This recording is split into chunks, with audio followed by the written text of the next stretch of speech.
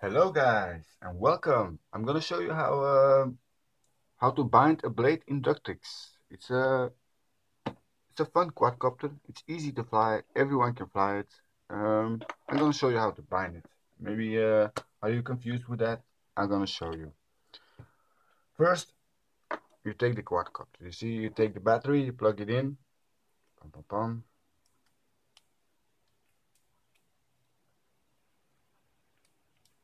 Put it down.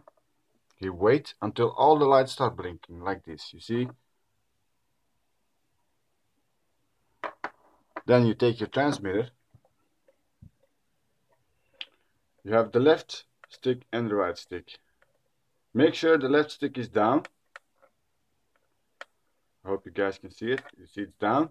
And you can press it also. Now you press this the left stick and you hold it in. And then you will hear a sound. It's a little bit annoying, but uh, you hear the sound. You keep holding that button until the quadcopter stops blinking. I'll show you. So you press this button and at the same time you put on the power. You hear the beep, you have to wait, wait, wait. You see to the quadcopter, stops blinking. Now you wait until the transmitter stops blinking. Okay. And now it's bind. You see? So what do you do now? Before you start flying, plug out the battery, put it back down, turn off the controller, wait a few seconds, turn the transmitter back on, put it down, take the quadcopter, plug the battery in, put it back down, wait till the blue light, you see this blue light,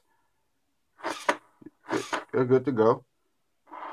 Okay, if I want to show you uh, the fly modes, you have uh, two two fly modes with uh, self-leveling. What you see here, it's safe. It keeps the quad always like this. If you do like this, it comes always uh, back to normal flying. Um, it's in the blue LED. If you turn on, if you if you press this button, the left one, you will see that the LED now is red.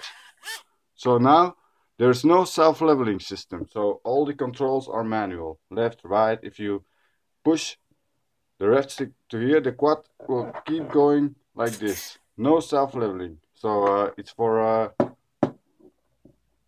if you start flying don't use that. If you start flying just go back and you have a blue light. It's always self-leveling. Okay guys thanks for watching. I know this, this video is not so good but uh, it's my first video on YouTube about uh, about something. So uh, if you have any comment leave it in the comment give me a thumbs up or tell me what I need to do better. Thank you.